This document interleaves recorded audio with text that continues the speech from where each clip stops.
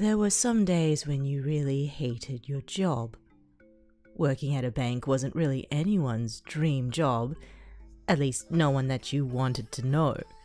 But working at one in such a busy city was especially heinous.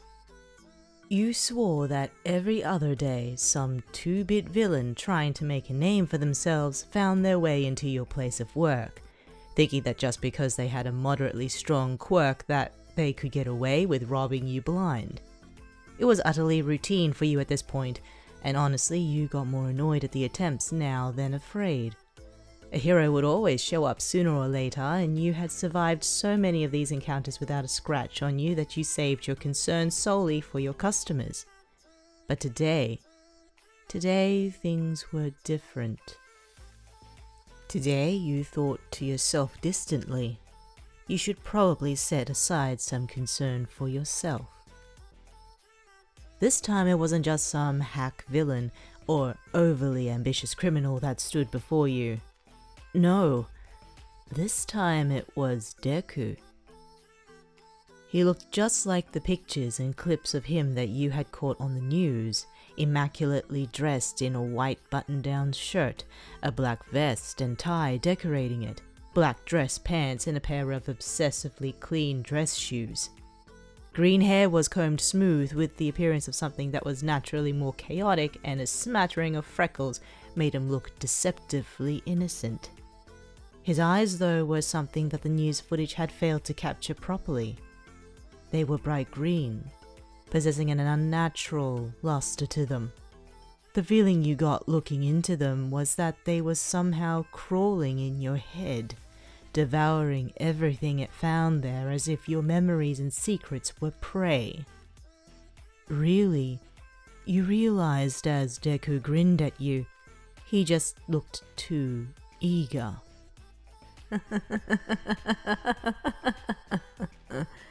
well, he chuckled, as if the two of you were sharing a private joke. It certainly seems like you know the drill.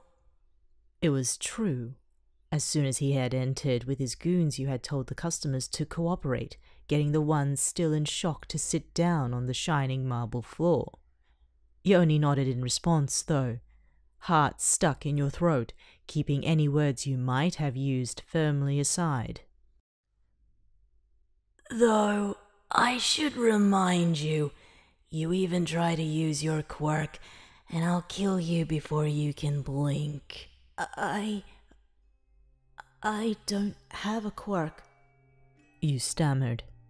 At your confession, Deku's smile only grew, though now it seemed to take on a hue of genuine interest you had caught his attention, and not just as a target. that! Now that is perfect! he exclaimed with dark joy.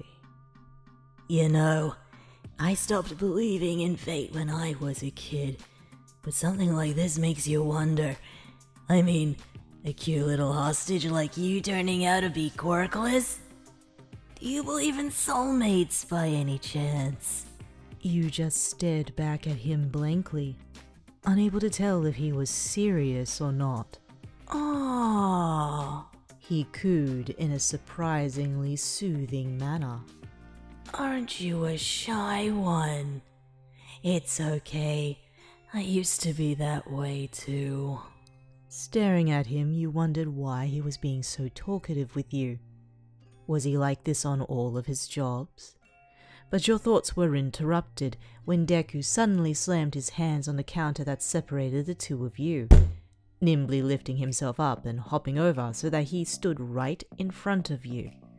You tried to back away, but before you could make much progress, Deku wrapped one arm around your waist, pulling you towards him. Once he secured you firmly against himself, so close that you could feel the rise and fall of his chest as he breathed. He leaned down towards your ear. You want to know why I stopped being like that, though? It's cause one day I learned something. I learned that no one, is going to give you what you want, you have to take it. He whispered. And what is it that you want? To hurt people who've done nothing to you? You asked bitterly, startled into talking without really thinking. Cause that's all I see you doing. Deku let go of you at that, removing his arm but then placing his hand around your chin, tilting it upward so that you were forced to look right into his eyes. Humming absent mindedly while he scrutinized you with a slight smirk on his face, Deku was silent for a moment. That's not what I want, he muttered, a flash of something dark and burning peering into you from his eyes.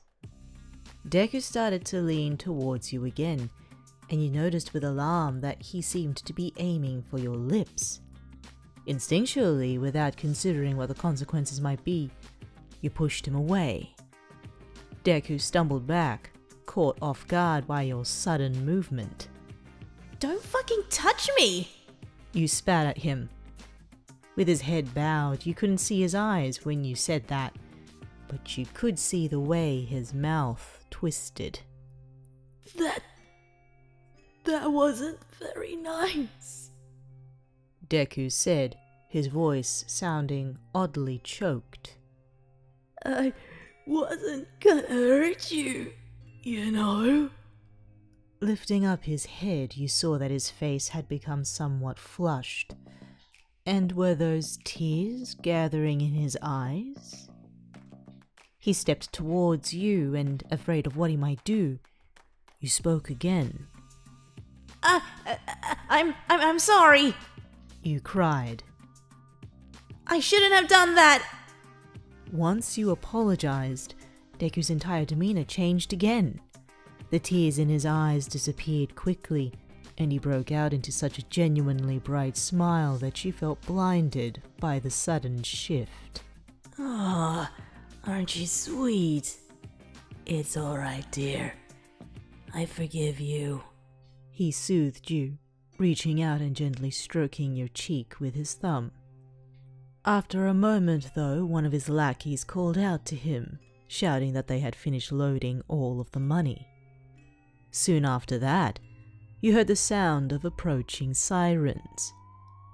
Ah, right on time. Deku sighed, sounding sincerely disappointed.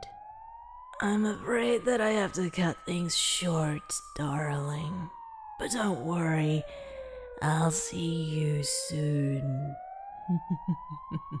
and with that, he left taking his goons and his new supply of cash with him. The rest of the day was fairly average for one that included a robbery. You got a desperately needed drink of water, checked on your co-workers, and gave your statement to the police. You told them everything Deku had said to you, but they didn't think much of it. Reassuring you that he had only been trying to give you an extra scare, the police told you that you were free to go home and that they'd be in contact soon. You left the bank, though you didn't go straight home. No, after the ordeal you just had, you decided that you had earned an early drink, and so stopped at a bar before taking the bus back to your apartment. By the time you staggered to your door, unlocking it with uncoordinated movements, the creepy way that Deku had singled you out was just a dim recollection at the back of your mind. At that point, it was far too easy to agree with the police that it had all meant nothing, and you could move on with your life. That is, until you saw the single crimson rose that had been left on your bed.